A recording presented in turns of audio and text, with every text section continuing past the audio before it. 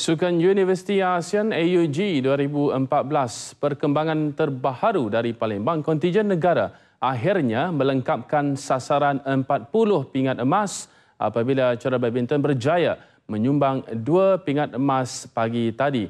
Sebelum itu semalam dilihat sebelum penutup AUG edisi ke-17 Malaysia seolah-olah masih bergelut untuk mencapai sasaran 40 pingat emas seperti yang ditetapkan.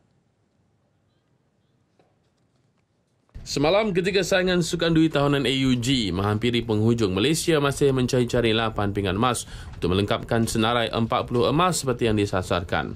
Ketua Kontijen Malaysia, Datuk Dr. Abdullah Muhammad Said tetap optimis Malaysia mampu mencapai sasaran tersebut berdasarkan beberapa sukan yang masih berlangsung.